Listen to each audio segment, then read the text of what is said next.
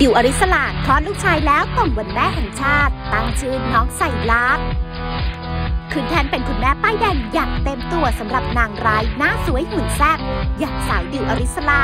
หลังจากที่ก่อนหน้านี้ออกมาประกาศข่าวดีตั้งท้องกับแฟนหนุ่มนักธุรกิจ จากนั้นเฉลยเพศลูกคนแรกได้ผู้ชายท่ามกลางความยินดีของเพื่อนพี่น้องคนสนิทและแฟนๆ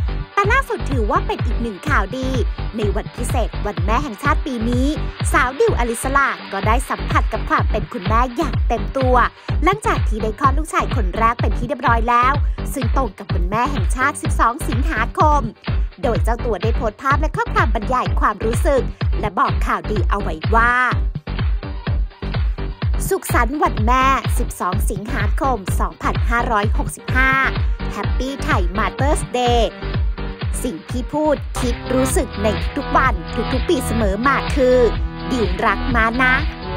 แต่สิ่งที่พิเศษกว่าปีอื่นๆ ในปีนี้คือ การที่ปีนี้ของดิว ดิวได้รับรู้ถึงคำว่าแม่ด้วยตัวเอง และหลังจากวันนี้ ดิวได้เป็นคุณแม่เองแล้ว เป็นอย่างเต็มตัว Welcome to the world my baby boy ไซลัสเบบี้น้อยลืมตาดูโลกแล้วครับ